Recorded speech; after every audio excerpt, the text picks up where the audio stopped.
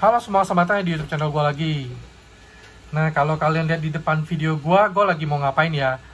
Gue akan membandingkan dua buah center ya teman-teman. Ya, ini sih lucu sih menurut gue, tapi nggak apa-apa. Kita kita bikin aja perbandingan ya. Nah, yang kiri ini adalah Urkok PK03.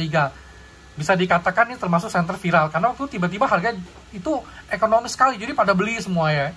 Jadi center viral melawan center apa ya ini kalau aku bilang center disco lah ya karena dia punya Android UI2 tuh bisa kayak lampu disco tuh. Oke, jadi seru ya. Oke gua satu-satu dulu ya.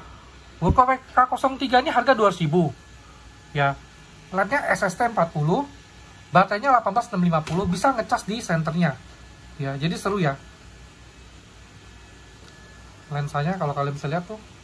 Nah lalu Urcox T11 lednya SFT 40 baterainya 18350 harganya 450.000 sudah termasuk baterai. Ngecasnya di sini nih jadi enak nih. Dia bisa juga menggunakan baterai 18650 tetapi teman-teman harus beli lagi tabungnya. Kurang lebih harganya sekitar 80 ribuan ya. Nah Android UI2 kebetulan kok di Android UI2 juga begitu belum begitu paham ya teman-teman. Sekilas-sekilas nah. Cuman yang gue suka ini dia ada lampu diskonya teman seru ya kecil. Mungkin teman-teman tahu ya gue beli ini ya warnanya sih teman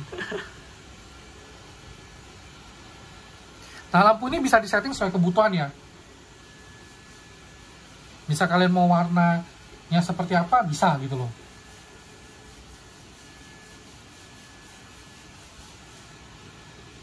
Kalau digenggam sih tenggelam ya. Tangan gue kan ada gede ya teman-teman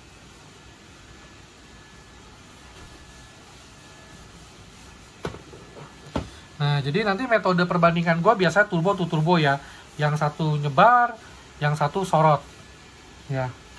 Nah, kalian bisa lihat nih nanti worth it nggak sih ya gue beli center dengan harga 450 ribuan Urcox TS 11 atau gue beli WK03 aja lah.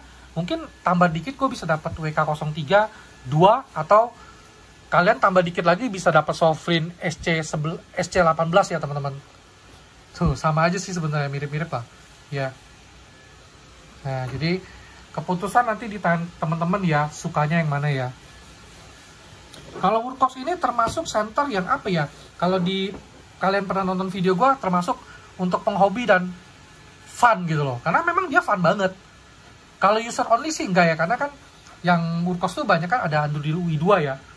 Terus dia juga multifungsi, bisa begini, bisa begitu. Sementara kalau kayak OLED, Nightcore, dia lebih ke user only. Ya, modenya standar misalnya low, medium, high, ada strobo gitu standar ya.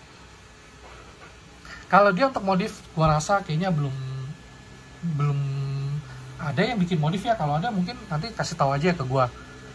Ya oke teman, tunggu video pada saat malam hari kita akan lihat perbandingan kedua buah center ini. Apakah worth it gue dengan mengeluarkan budget 450 ribuan membeli TS11 ataukah ya udah gue 200 ribuan gue cukup kok dengan Woodcock WK03 ya. Oke, kan beda 2000 lumayan juga ya teman-teman. Oke, thank you teman-teman. Ditunggu malam harinya. Oke, teman-teman, gue sudah lihat pada saat malam hari. Gue akan bandingkan dua buah center gue ya. Urcox WK03 melawan Urcox T11. Pertama Urcox T Urcox 03 ya. Bentar. Turbonya Urcox 03 begini teman-teman. SST 40. Oke.